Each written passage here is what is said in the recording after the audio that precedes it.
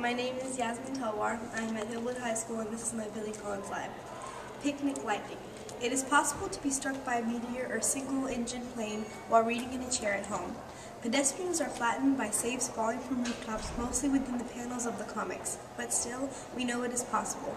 As well as a flash of summer lightning, the thermos toppling over, is spilling out on the grass. And we know the message can be delivered from within.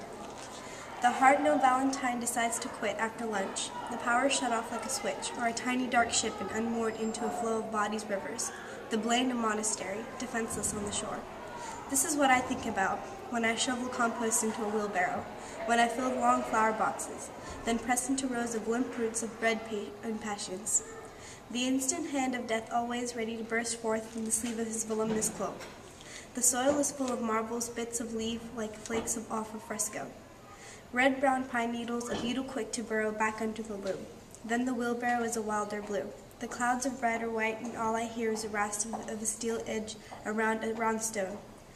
The small plants singing with lifted faces in the click of sundial as one hour sweeps into the next.